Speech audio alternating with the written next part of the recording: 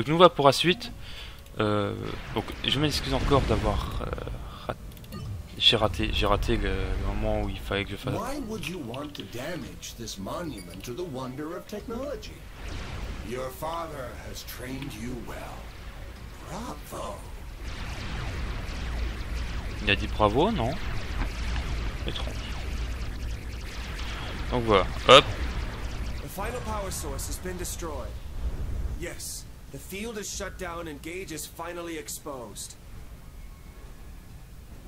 I warned you about making Shiva angry, Ivy. The rest of its defenses have come online. Fascinating.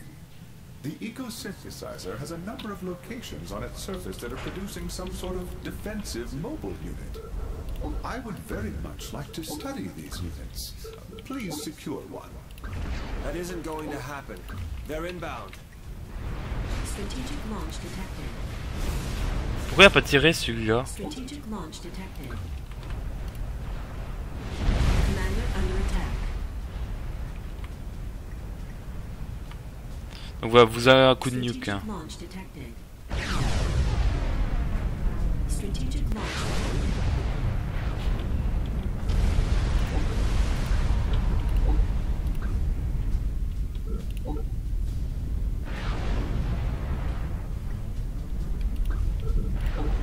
vous avez un coup de nuque dessus parce qu'eux ils vont faire part en fait de l'autre côté, ce qui va avoir le même souci en fait. Donc voilà, vous avez un coup de nuque, c'est plus rapide. Vous voyez, il y en a parfois qui veulent pas tirer ces têtes nucléaires quand je leur donne l'ordre.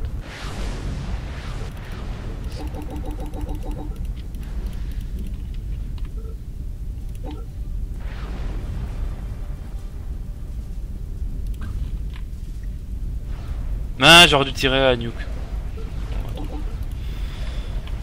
Bon bah les ingénieurs, vous voyez, ils se- le souci c'est parfois les ingénieurs vont se faire absorber par, euh, par Écosse universelle.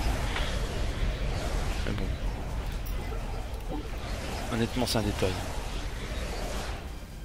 Et on va préparer beaucoup d'ICBM nucléaires pour euh, démolir notre adversaire. Comme vous avez vu, ici, ici, ici, ici, pareil dans leur base latérale, ils en ont euh, là, mort il est là.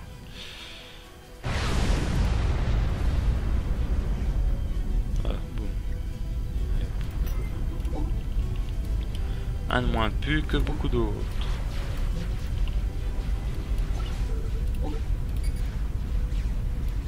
Commander under attack.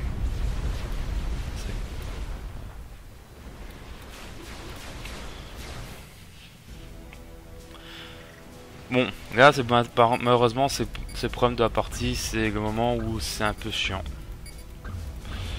Que c'est le moment où on va devoir attendre beaucoup, beaucoup, beaucoup. Et... Le problème, c'est qu'on n'a pas le choix.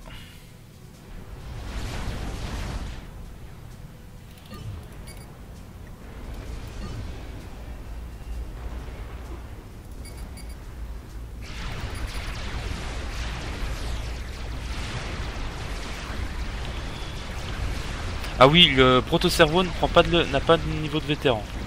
Je n'ai jamais fait en multijoueur parce que je trouve pas que cette unité est très efficace. Je, préfère faire une canonnière à la place. j'ai aussi aucune, jamais de parties qui ont duré assez longtemps pour que j'ai plus de, points de prototype en fait. Dire que j'ai le temps de tout rechercher. Voilà. Donc ici c'est parfait, on a... Mais honnêtement je trouve l'unité pas mal quand même. Là je suis vraiment en train d'attester et... Bon, elle est très fragile contre l'entière, c'est sûr, mais... Au niveau d'attaque au sol, on peut pas, on peut pas le nier, c'est quand même assez efficace. hein.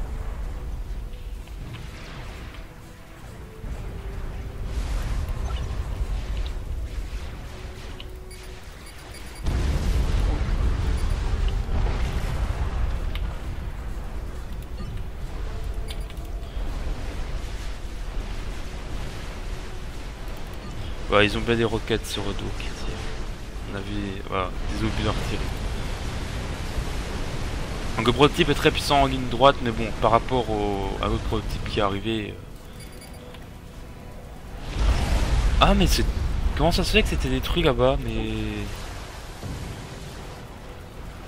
Les boucliers...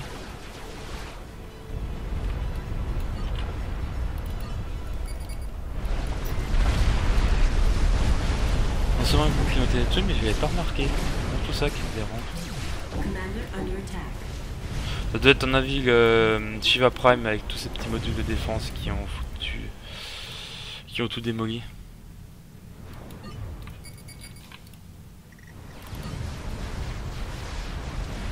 Ouais, la différence avec la canonnière de Zaon, c'est qu'ils ont une, une DCA qui tire certes lentement, mais qui fait ultra mal, quoi, des, de cette unité. C'est c'est un peu le souci de cette canonnière, c'est que cette canonnière fait beaucoup trop mal en entière. D'ailleurs, c'est la seule qui fait autant de dégâts aux canonnières expérimentales. Mais bon, après, c'est question d'équilibrage, quoi. Apparemment, c'est normal. Mais bon, le problème, c'est que les cibrons, au final, on se rend compte que certes, économiquement, ils sont peut-être derrière. Mais sur toutes les meilleures unités militaires, il suffit d'attendre un peu ou de laisser un peu le late game arriver. Mais au final, ils, sont largement gagnants, quoi. C'est-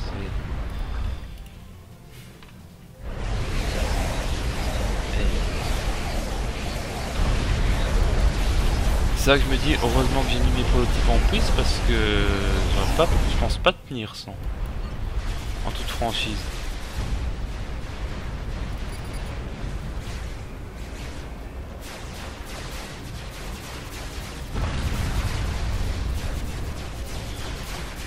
Donc voilà, on va y aller à l'ancienne méthode. Donc, enfin, vous m'avez vu déjà comment je marchais avec les cibrands de manière générale. Canonnière pour dégommer les défenses nucléaires, puis après je les démolis euh, à coup de nuke. Mais bon, je préfère économiser autant que possible les nukes. Quand on peut tout démolir sans nuke. Vous voyez, à vitesse que je démolis quand même les, les unités aériennes avec des canonnières volantes expérimentales? C'est ça que je- ça par contre c'est un des gros reproches que je peux faire au, au jeu. C'est je trouve que la canonnière de Cibran est beaucoup beaucoup trop puissant.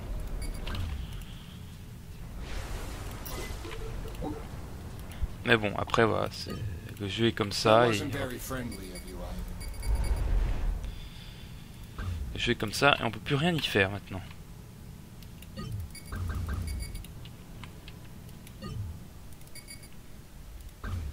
Donc ici on va aller dégommer ce site là.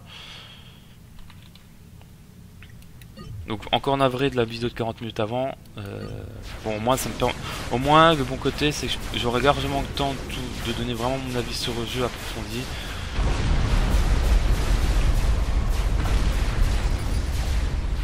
Que sinon si je faisais deux vidéos de 30 minutes je me serais contraint à essayer de faire une heure en tout. Donc euh, là j'aurai vraiment le temps de prendre le temps qu'il faut pour bien pour bien expliquer mon point de vue, pour qu'il soit bien compris.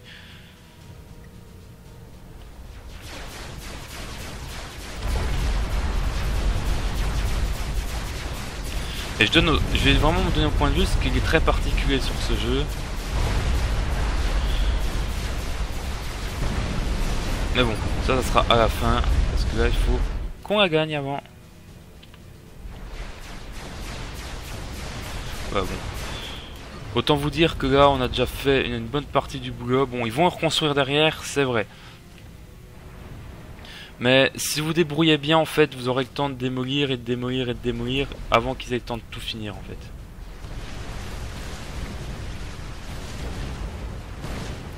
Voilà, ça c'était démoli.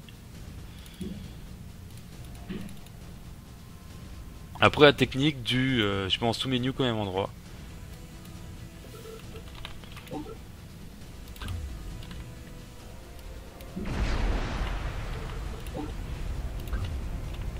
Peux me permettre.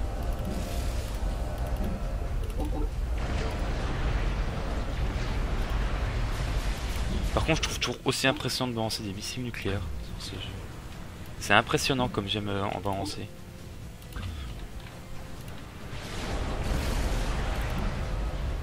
Ah, il y en a plus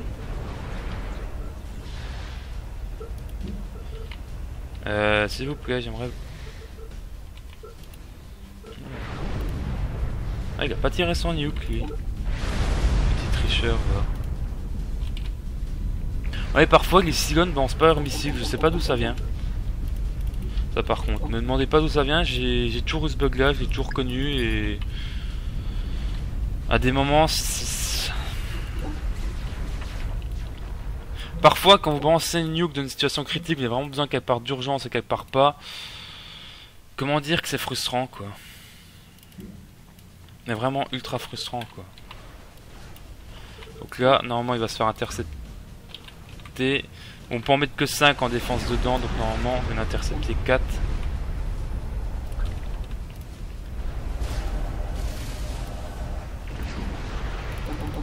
Voilà.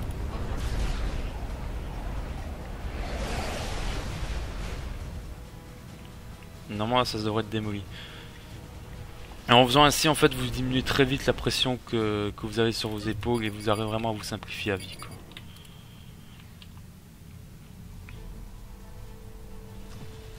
D'accord, il m'en a, d'accord, il m'en a intercepté 7, alors qu'on est limité à 5. Commander under attack. Donc là, j'ai pensé des là, c'était en préventif si jamais il comptait retourner en fait, pour reconstruire.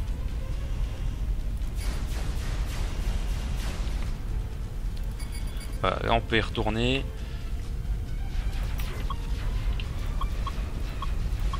On va pouvoir faire euh, deux groupes d'ingénieurs, parce qu'il m'en reste plus qu'un.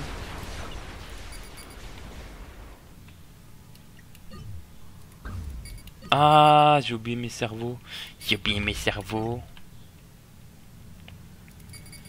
J'ai totalement zappé. Donc ma priorité c'est vraiment de dégommer euh, tout ce qui est euh, aérien quoi. Non mais vous foutez de moi. Me dites pas qu'ils vont prendre un proto-cerveau quand même.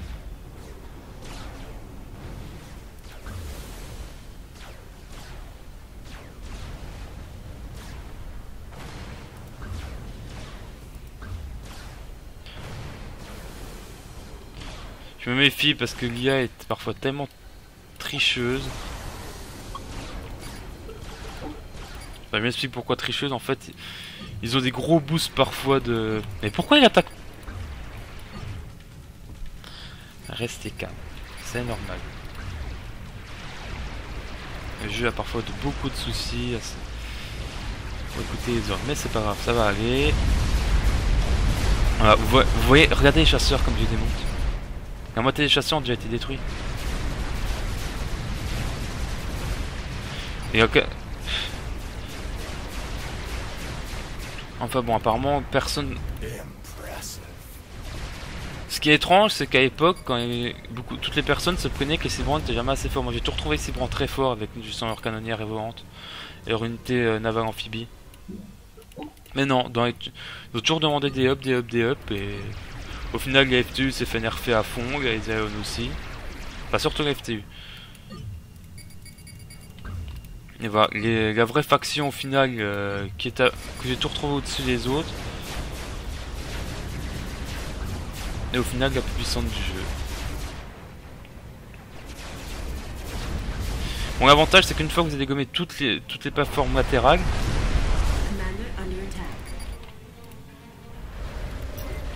euh, dégage tout de suite.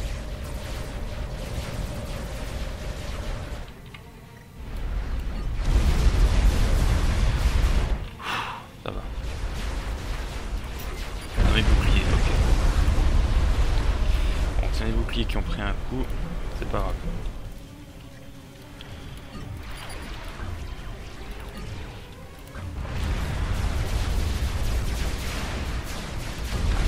Ah.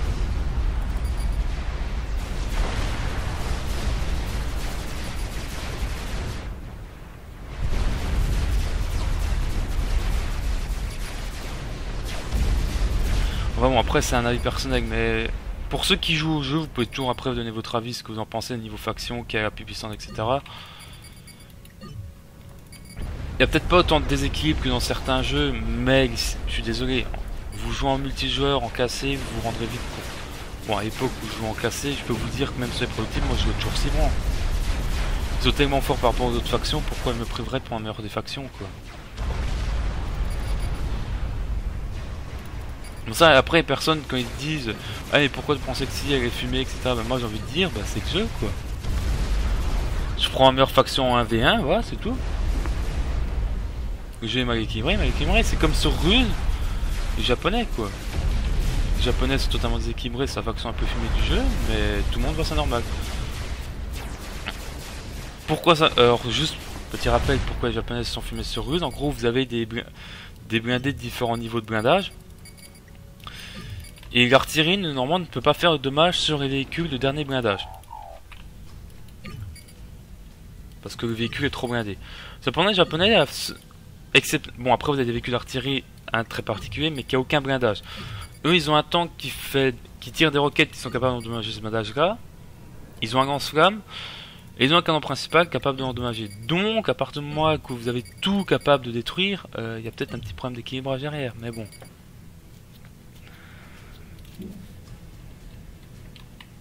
Encore une fois, là, il se pose le problème de Ah, mais t'es sûr de ce que tu dis? Vous trouvez vraiment que c'est déséquilibré, etc. Bon, c'est toujours pareil, quoi. La majorité des personnes, ils ont acheté le DLC, ils veulent, ils veulent que le DLC soit fumé, mais bon, euh, après, euh, quand on parle vraiment de gameplay pur, ben, on se rend compte que le gameplay est... Le jeu est beaucoup moins plaisant que ce qu'il aurait dû vraiment être. Là, c'est... Je vous donne un cas sur un autre jeu de stratégie, mais on a exactement le même souci sur ce jeu-là. Vous faites pas d'illusions. Deux jeux différents, mais le même problème. Voilà. Donc, euh, à partir de ce moment-là.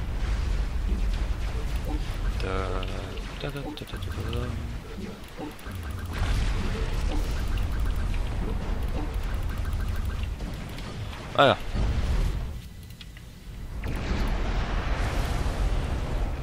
Avec tout ça, ils tirent pas tout leur nuke, je sais pas quoi faire.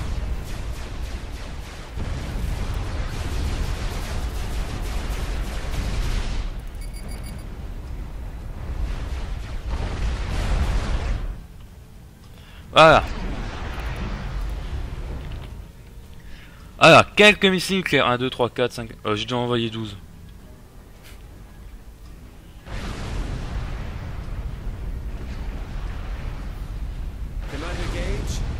Cybran, I feel compelled to give you the opportunity to surrender. This is the end of the story for you. And the beginning of an even bigger adventure for me. Gage is down. Gage is down. Excellent work, Ivan. Very efficient. Oh, yes.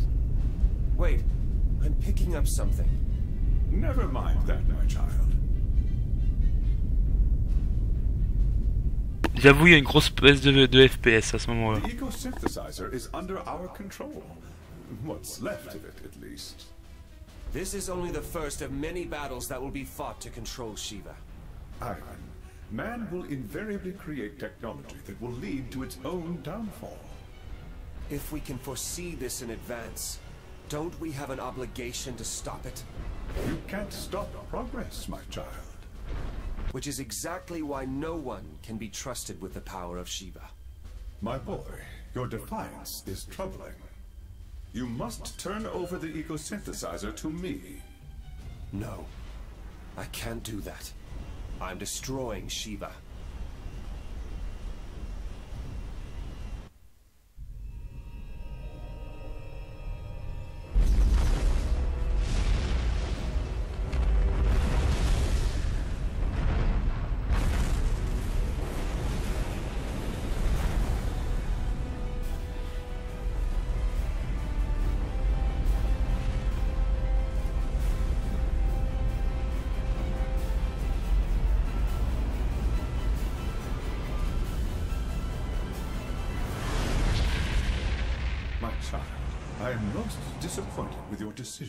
Destroying Shiva was the only option. Very interesting. Your actions illustrate a significant flaw in the proto-brain implant and algorithm. This will require additional research and debugging.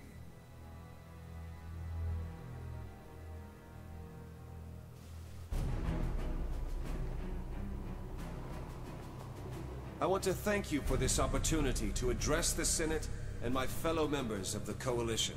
We have fought each other for millennia.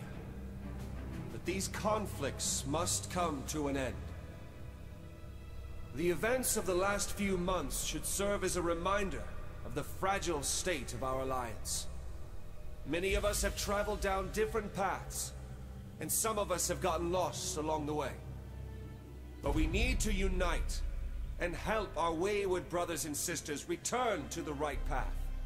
Let us mourn those who made the ultimate sacrifice, but not forget to celebrate the living. For we are not Cybers, Illuminate, or UEF. We are families, men and women, old and young, more alike than different. Ladies and gentlemen, I believe we are at the dawn of a new age, one of unimaginable potential. I look forward to what happens next for all of us. Thank you.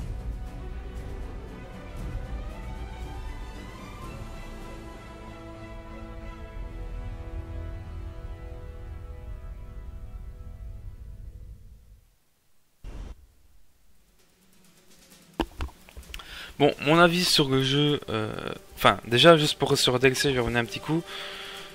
Si vous créez des parties, des parties multijoueurs en tant qu'hôte, interdisez-les, c'est moi qui vous le conseille, parce que t'as des équipes beaucoup trop. Après, vous pouvez laisser, ça peut toujours être marrant, mais ça peut fortement déséquilibrer les parties à cause de ces prototypes du DLC. Des unités du DLC de manière générale. Mon avis sur jeu, pour moi, je trouve que c'est une excellente suite à Supreme Commander 1. Bon, Supreme Commander 1 était très bon. Euh, Forgotten Alliance, moi je trouve que la campagne était rébarbative. Bon, vous avez vu quand j'ai filmé les trois factions. On fait les mêmes missions, il n'y a pas de nouveauté, on se fait toujours la même chose. Et c'est vraiment ennuyant. L'avantage, je trouve, sur celui-ci, c'est qu'on a euh, trois campagnes qui se suivent, donc les trois ont un lien. C'est pas comme dans le premier où on sait pas vraiment qui a gagné au final la guerre infinie. Au final, c'est chronologique, ça se passe dans l'ordre et on voit toutes les factions comme ça. Les personnages, on sait qu'ils ont un passé commun, ils ont tous été apparemment au collège ensemble, avec le primaire, enfin ils étaient camarades de chambrée, à ce qu'on a compris. Enfin, en tout cas, Maddox et euh, Ivan Brackman. Et on sait qu'ils étaient amis avec Talia Kell, donc d'un côté, c'est assez sympathique de se dire, tiens, au final, c'est des, amis d'enfance, etc. Je trouve que l'histoire entre le fils et le père en Brackman, je trouve qu'elle est très intéressante. Euh, aurait pu bien être plus développé, je pense que j'aurais pu être plus développé, etc. Mais euh, l'histoire, je la trouve intéressante en soi. Euh, comme toujours, il y a cette, cette question qu'on se pose toujours, mais alors qu'est-ce que c'est Par exemple, dans, dans Sprint Canderin, qui sont les séraphines? Forgotten Alliance nous apporte la réponse. Et là, Sprint Canderin 2 se pose la question, ben, si c'est pas une technologie séraphine, de qui provient cette technologie de l'éco-synthétiseur? Et je trouve que c'est quelque chose de génial. Vous avez toujours un petit mystère qui est autour et qui donne envie de continuer la saga. Bon, après, bien évidemment, euh, au niveau, moi je trouve de l'histoire, elle est bien. Moi j'ai apprécié. Euh, donc ce niveau-là, je peux pas reprocher. J'ai trouvé une mission intéressante, variée, diversifiée. Euh, donc j'ai rien à dire à ce niveau-là. Ce que j'ai reproché, c'est au niveau du gameplay. On, est habitué depuis ce point de à un gameplay en flux tendu. Et on passe à un gameplay, si of Empire, beaucoup plus classique. Moi je m'y attendais, donc j'ai pas été surpris. Design d'unité, on passe d'un design d'unité globalement assez réaliste dans le 1. Même si c'est futuriste, c'est globalement assez réaliste, on arrive à voir l'esprit humanoïde. À quelque chose de totalement surréaliste, inimaginable. Donc vraiment cartoon, comme j'ai tendance à dire. Mais une fois qu'on... Moi je m'attendais à ce style-là quand j'ai acheté, donc j'ai pas été déçu de ce, game de ce point de vue graphique là. Beaucoup de personnes étaient déçues parce qu'ils ne sont pas renseignés. Nous savions d'avance que c'était comme ça et je suis navré de le dire. Voilà. Moi je teste pas. Certes, à pas d'unité comme de charisme, euh, le mastodon, par exemple, le flatboy, dans le 1 était spectaculaire, soit il est pas spectaculaire. Mais bon, par exemple, moi les ventreurs d'âme, je l'aime bien sur celui-ci. Le Lucas universel, il est pas mal. Le King Cryptor est pas mal, le robot araignée, bon, il y a plein d'unités qui sont pas mal. Euh, dans le style graphique là, donc si on, arrive à s'apprécier ce style graphique, on peut apprécier les unités. Moi j'ai apprécié, donc j'arrive à merger le seul endroit où j'ai du souci, c'est au niveau des unités navales de la FTU que je trouve moche. Je dis correctement, l'Atlantis ressemble à rien. Enfin, les portages ressemblent à rien avec les factions. Il y a vraiment qu'au niveau naval où moi j'ai des gros reproches à faire. Et au niveau des prototypes également, étant donné que certains prototypes, je trouve, sont hors normes et designement aurait pu être revu et refait totalement. Euh, mais bon. Bon, là je vous laisse avec la petite fin, parce qu'il y a toujours un petit Mister Egg à la fin. Enfin, Mister Egg, une petite surprise.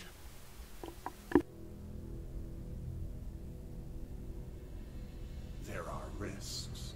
I am well aware of all potential issues with the proto-brain technology. But you've never done it to yourself. My child, where is your sense of curiosity? Your desire to peer into the unknown? Aren't you concerned about... Commence the proto-brain initialization sequence. Yes, Dr. Brackman. I won't fail you this time. This is quite interesting. Commander Gage, are you ready for a new adventure?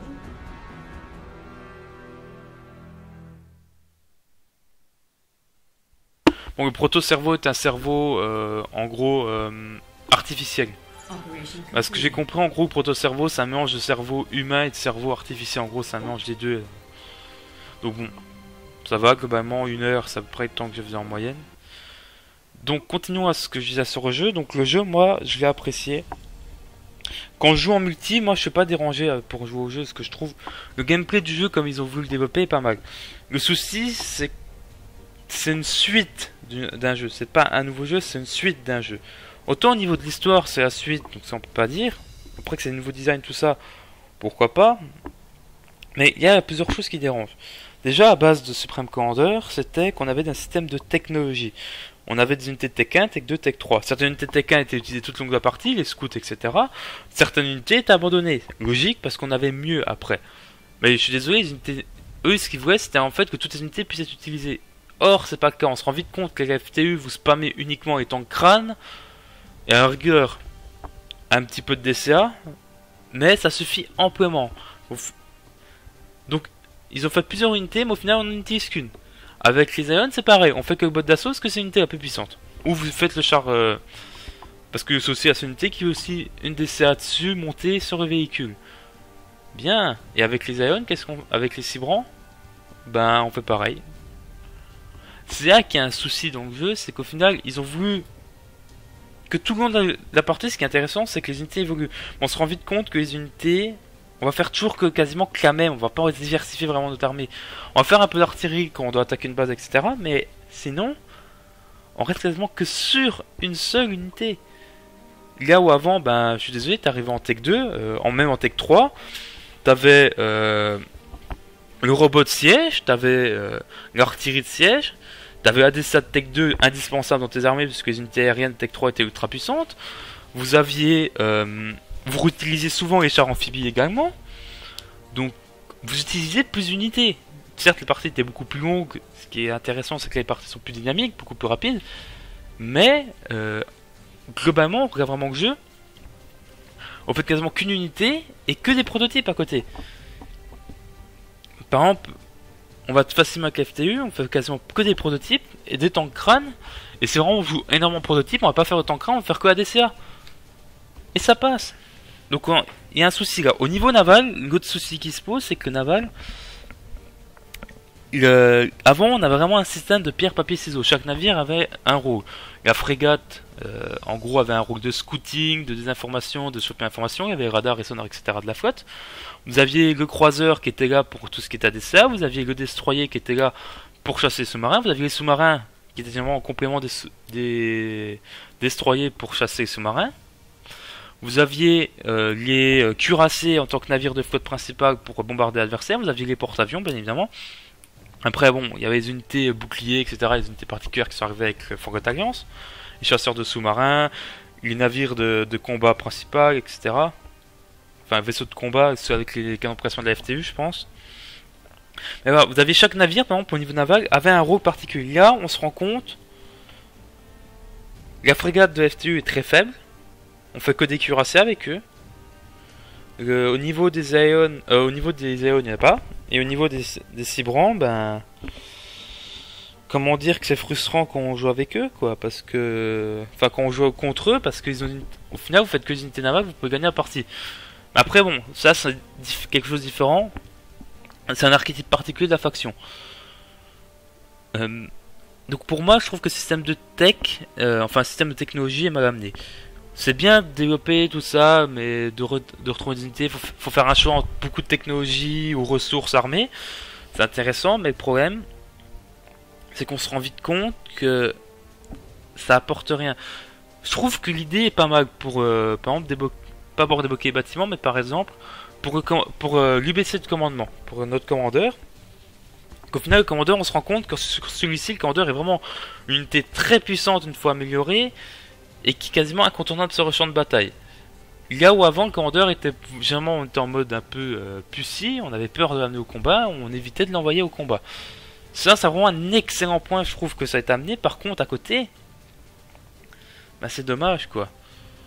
Certes, ça s'applique pas au prototype, mais les améliorations, encore heureux, mais le jeu euh, n'est pas très intéressant à cause des prototypes, quoi.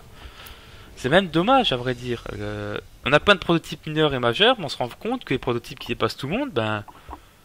FTU, il y a que le King Cryptor qui est bien. Après, on a, la C1000 il fait pas mal de dégâts, mais très fragile. Vous avez en équivalent en face, en AC1000, vous avez une canonnière vente expérimentale euh, chez les Aeon, achetable, faut acheter le DLC. Où vous avez le, le canonnière même Cibran. euh, voilà. Après, j'ai dit, les Cibrans pour moi sont supérieurs à toutes les autres factions. Parce que l'artillerie ne permet pas de gagner une partie. Ça, tout le monde le sait, mais bon, apparemment, les développeurs n'y ont pas pensé. Donc voilà. Le système de tech, je pense, s'il approfondi, pourrait marcher. Moi, j'aurais pensé en fait à un, un jeu qui aurait pu être bien. C'était un hybride en fait en Supreme Commander 2 et le 1. Le système de tech, euh, ils ont voulu innover. Moi, je l'aime bien. Il y a des bonnes idées. Mais je pense qu'il faut modifier. Il faudrait qu'en gros, euh, par exemple, euh, ça, ça améliore les unités de premier niveau. Je m'explique, par exemple, on regarde dans Supreme Commander 1, vous avez des tanks de Tech 1, des unités de Tech 1, Tech 2, Tech 3. On n'utilise que des unités de Tech 3. Avec, le Tech, ce qui serait intéressant, c'est qu'on puisse transformer des unités de Tech 1.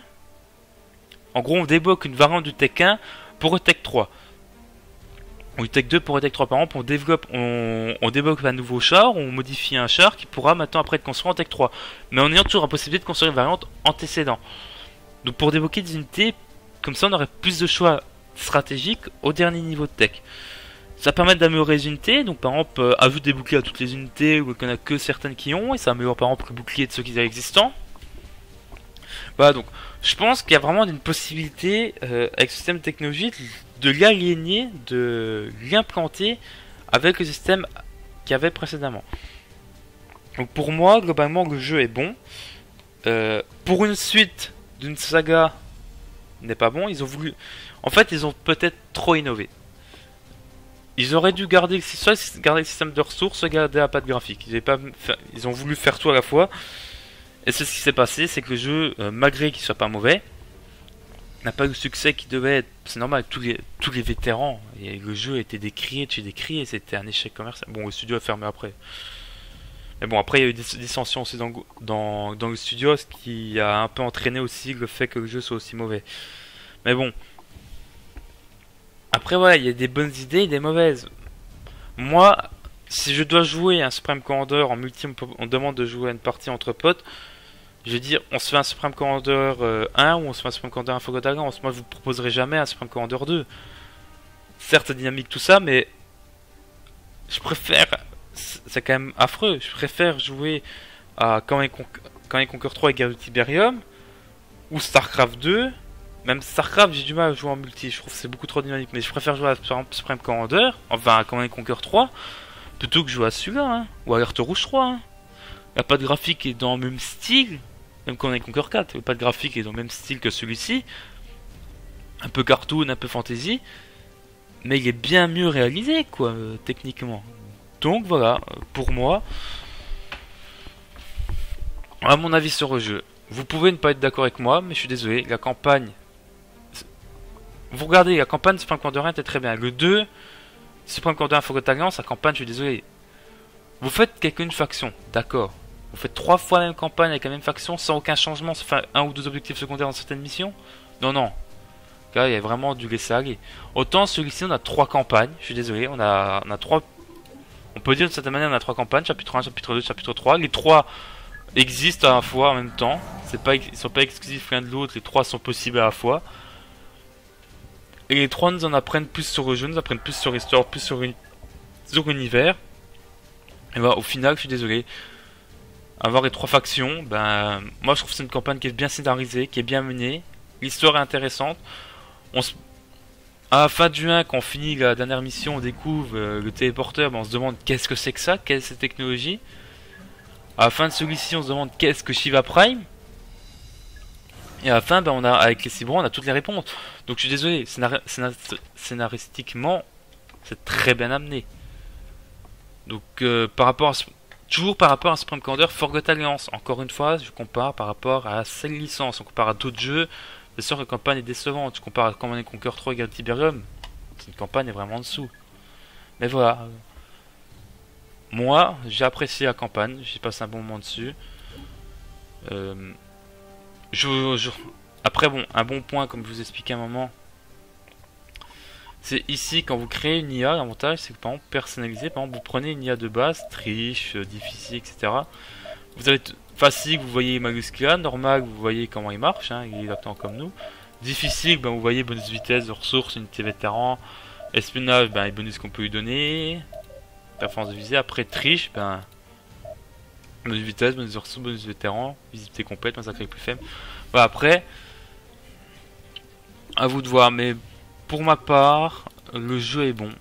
Euh, si vous soyez simplement euh, préparé à voir à ce que ce soit pas un jeu comme euh, comme Supreme Commander 1 quoi. Une fois que vous êtes préparé à ça, c'est bon, vous pouvez pas être vous êtes préparé au pire, ça peut aller, mais voilà. Quoi qu'il en soit, merci d'avoir regardé ce Wolf, enfin ce playthrough plutôt, je devrais l'appeler euh, avec moi. Euh, on se retrouvera. Bon, la licence Commander est finie, donc euh, je continuerai pas dessus parce qu'il n'y a plus de jeu. Euh, J'envisage de me remettre à Age of Empire 2, euh, m'attaquer à The Conqueror. Donc d'ici le prochain walkthrough ou playthrough que je ferai, portez-vous bien. Et à tout le monde en commençant à regarder en ma compagnie ce playthrough intégralement et d'avoir écouté mon avis sur le jeu.